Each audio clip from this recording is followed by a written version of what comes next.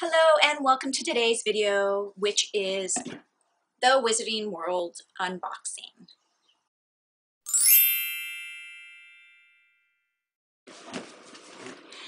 The Wizarding World subscription is a Harry Potter Fantastic Beasts subscription box that comes every other month on odd numbered months.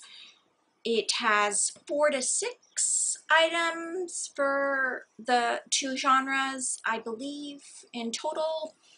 And this month's theme is magical creatures. So let's just get into it.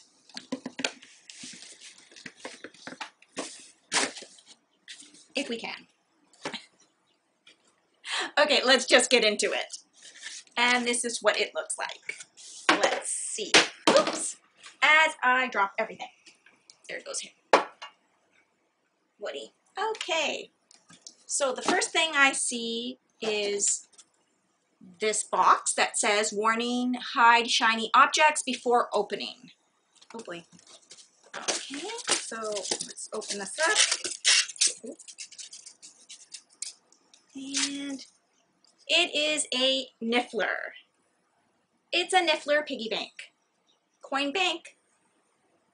I guess it's not a piggy bank because it's a Niffler, but it is a Niffler coin bank. It's so cute. This is the first thing I've had from the Niffler, and everybody has to like the Niffler. I mean, he does like shiny objects, and hopefully I can get a lot of shiny coins in my bank.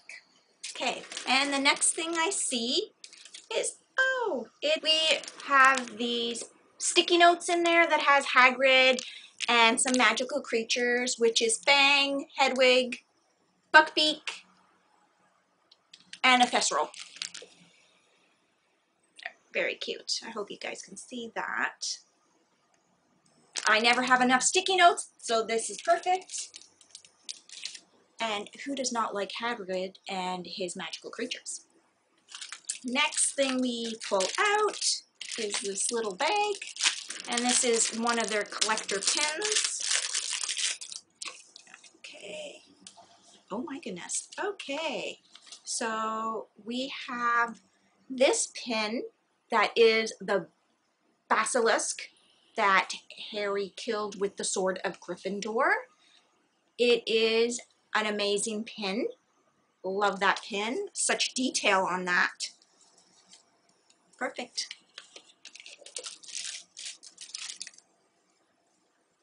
Next. Okay, and next we have a set of four cookie cutters from the Fantastic Beast. So there you go.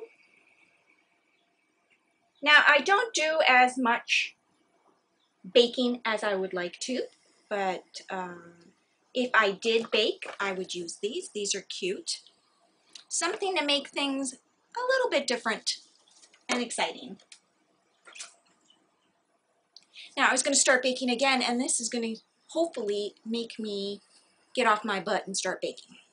Let's see what else is here.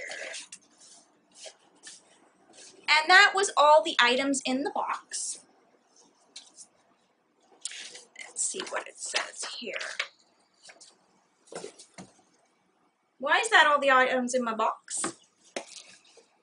Okay, so um, I am missing an item from my box because there is no wearable in my box and I was supposed to be getting this t-shirt um, in this box. So I'll have to reach out and, and speak to them about that. I thought it was weird. I thought there was something missing because I didn't think that would be all of it. But yes, there is no... Nope, didn't drop out of that. There is none, no t-shirt in this box.